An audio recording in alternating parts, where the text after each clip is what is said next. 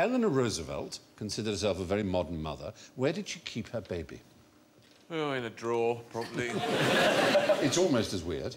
It was a fad in the 1930s. Was it permanently attached to her in one of those things, what they called papoose things? No, wrapped no, around? that would be that would be fairly normal. We would consider this weird now. Uh, in, in New York, space is at a premium. It's obviously a limited amount of space in Manhattan, hence the, the skyscrapers and so on. Um, and where do you put your baby? Well, hang it out the window in a cage.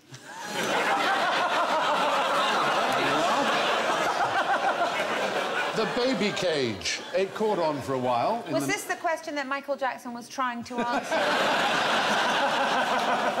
We probably yes, it is a bit disturbing, the baby cage. But there were 12 of them in Poplar in London. They died out during the Blitz because obviously they were not suitable for the Blitz. Uh, Eleanor Roosevelt got severely criticised for it. She was very upset. She recalled it was rather a shock to me, for I thought I was being a very modern mother.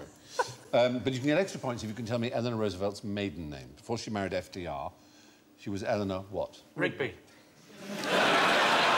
Don't say it at the same time. No, she wasn't. Roosevelt. Yes! Well done. Oh, she was Eleanor Roosevelt. Very good.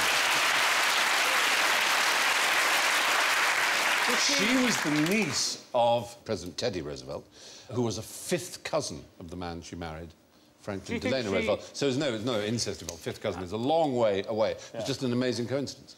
So Do you she think never... she actually changed her name? No, seriously, do you think she actually went and said, right, I'm now officially changing my name? Because you're not officially then got the same name. You've got, you've got the same name, but it's not the same as registering it as a changed name. Do you know what I mean? Do you know what I'm saying? of- You should I'm- be the, reason, the reason I ask, do you know what I mean? Because I'm not sure I do. Do No, I was going to say...